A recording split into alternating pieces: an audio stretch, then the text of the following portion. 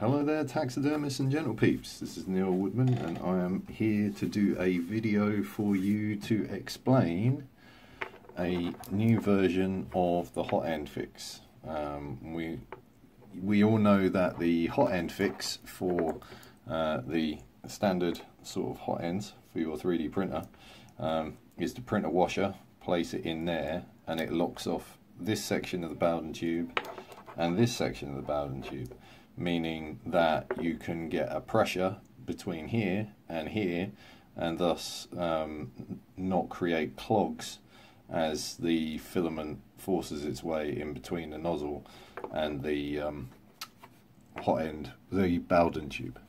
Okay, so the way that we do this, so this is a standard PTFE coupler. Okay, you see there has a large through hole and this large through hole allows the PTFE tube to go all the way through. Instead what we're going to use is one of these. And this is called a PC4-02 coupler. And you will see that it doesn't allow the PTFE tube to go all the way through the coupler so rather than having to print a washer, this has something built into it.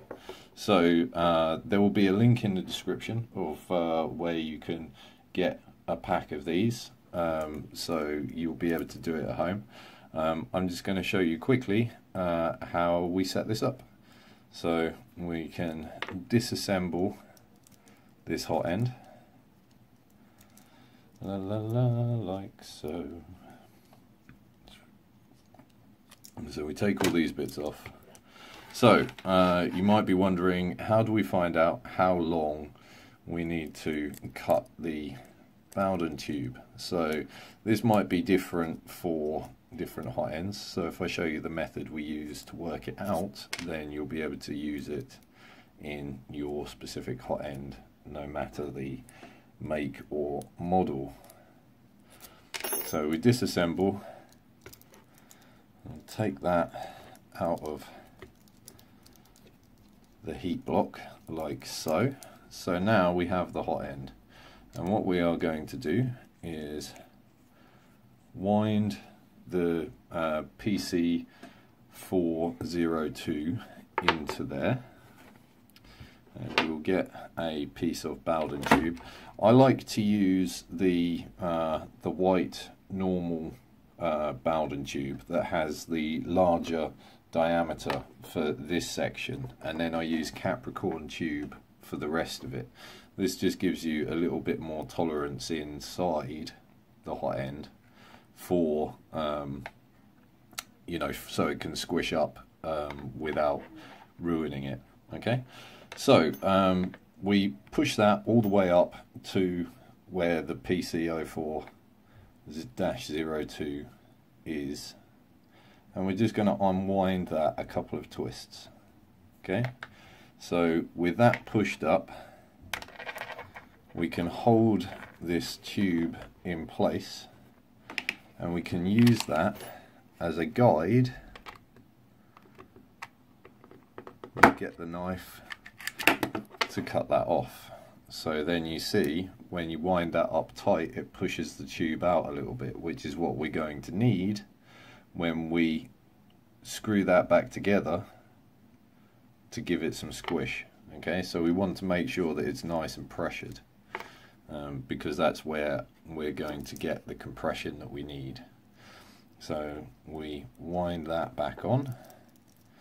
La la la la like so and we'll put the securing screws back in like so. Just do them up.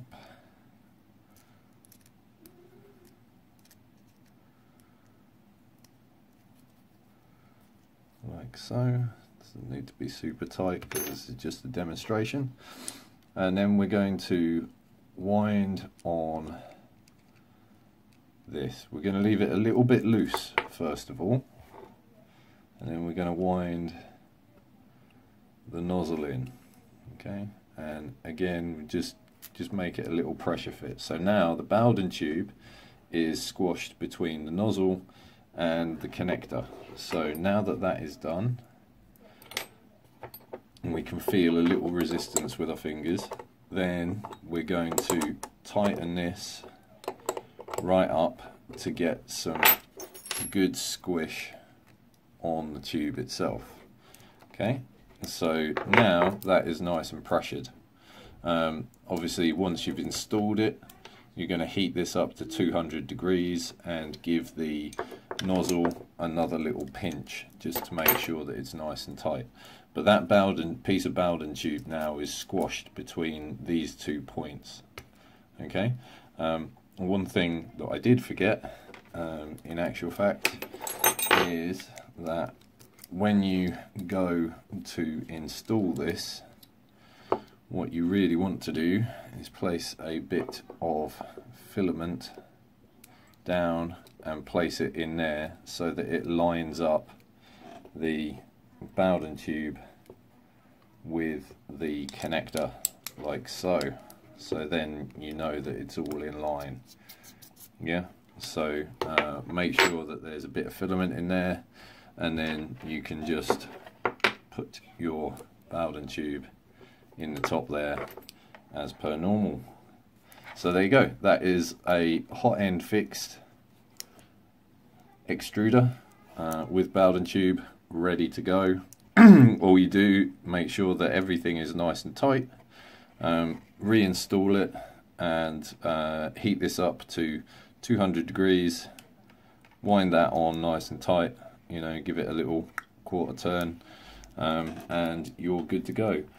It means then that this top piece of Bowden tube, um, you don't have to keep changing and cutting shorter and cutting shorter. All you have to do is if you start having print problems or clogs or whatever is just take out that um, piece of tube there.